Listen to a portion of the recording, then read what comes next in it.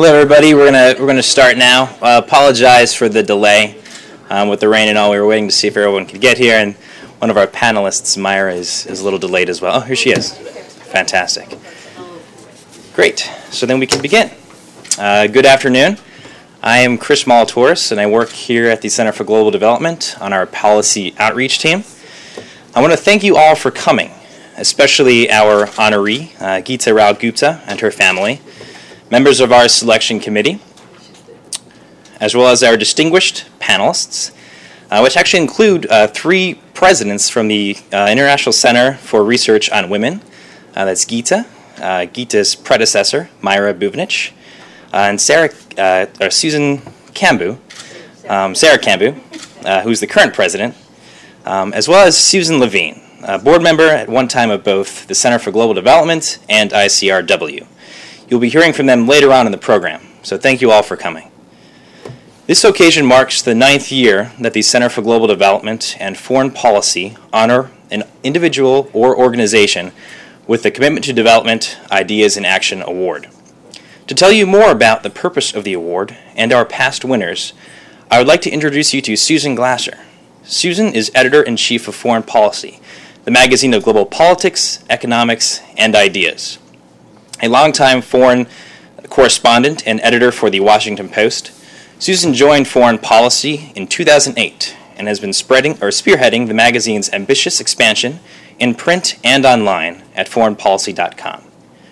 During her tenure, the magazine has won numerous awards for its innovative coverage, including two National Magazine Awards, and was recently selected as a finalist for a Magazine of the Year by the American Society of Magazine Editors. Please join me in welcoming Susan Glasser. Susan. I promise I didn't pay him for that introduction.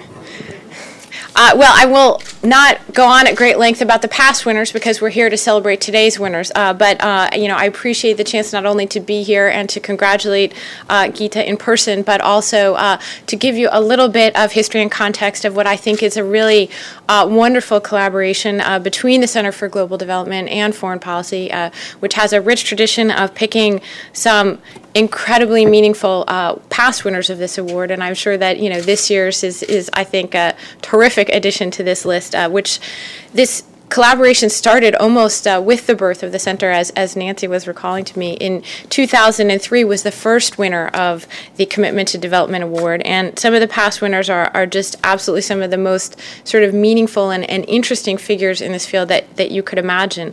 Uh, last year we selected a group, and that was my first year of involvement with this. Uh, we selected a group called Publish What You Pay, uh, which is a global civil society coalition uh, which is dedicated to promoting revenue revenue transparency in the oil, gas, and mining industries. And I think is a terrific example of you know selecting uh, a group that perhaps not everybody here might have been familiar with, but really showed what kind of innovative work you can do at the intersections of a lot of different both global public policy, but also uh, the internet and using new technologies in new ways. Uh, you know, they're engaged with legislation. it was a really stimulating uh, choice, I think, for this award, and it showed the kind of range of, of things and of interest that, that the center has dedicated itself to. Previous winners include everyone from the One campaign uh, and Global Witness uh, to going back to the very first recipient, which was the Utstein Group in 2003.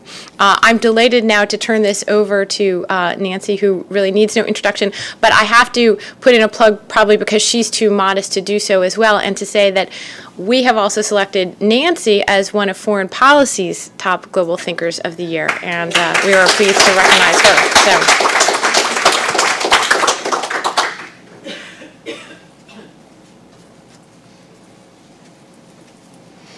Uh, thank you very much, Susan, and thank you to all of you for coming out on this bad afternoon. It's certainly worth it to see all of you here. Um, as Susan said, the Commitment to Development Award is about finding a person or an individual who has changed attitudes or practices of the rich toward the poor. And in that sense, it is part of encapsulating the mission of the Center for Global Development.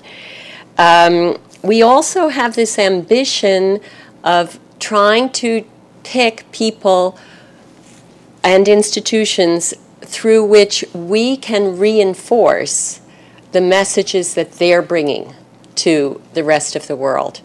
Um, so it's our effort to have partners in a very real sense through this award.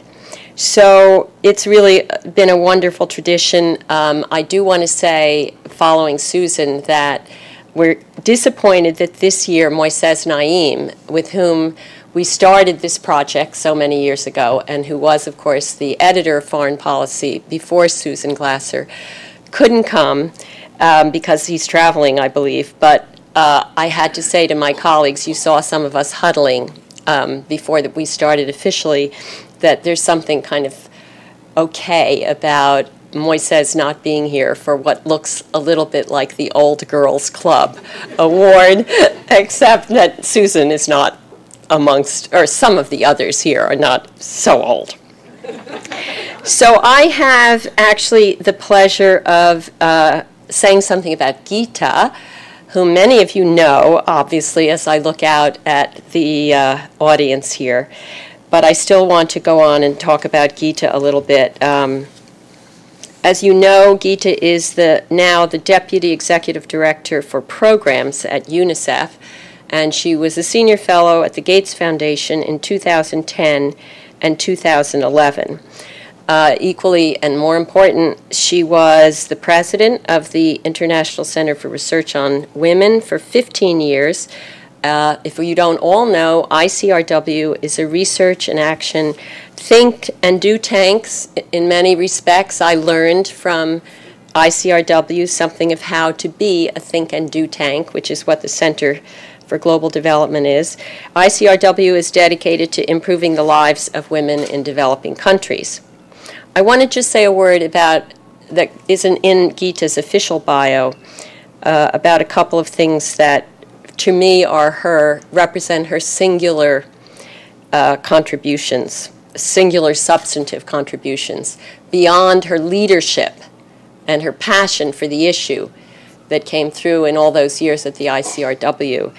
Um, on her own substantive and analytic work, I want to mention two things. One is Geeta was an early proponent of doing research and thinking about its implications on the issue of women's vulnerability to AIDS. Um, we had in the press release uh, announcing this award that, among other things uh, that I remember as being important, this was before this center started, Geeta gave the plenary speech at the 2000 International AIDS Conference in Durban, South Africa um, that actually put gender at the international level at the heart of the HIV AIDS pandemic. Even earlier, I would say Geeta was one of the people, the way I've always thought of it, who, who basically was making the point in different ways that um, women's low status in some settings, in some parts of the developing world, in the context of the HIV AIDS pandemic, needed to be thought of as a public health disaster. And I think her own work and ICRW's work in that area was very important. The second substantive area that I will always remember Geeta for is that she was an early contributor to we must think of, we must focus on women's economic contribution and on opening up women's um, ability, to, society's ability to exploit, in the good sense, the contribution that women are making. The concept of women as agents of change and not primarily or only uh, victims of the situations in which they live. So, um, with that, uh, I want to ask Susan to come back up and I think Geeta comes back up, Chris, now. We actually give Geeta the award, and then we take a picture, and then we move on to the panel. So, Geeta.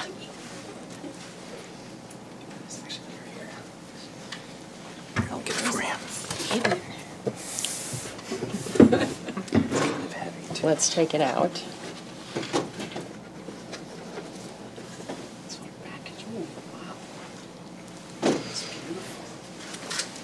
From CGD and Foreign Policy. Thank you.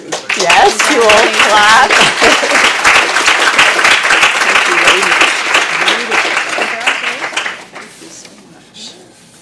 We'll give you the box afterwards.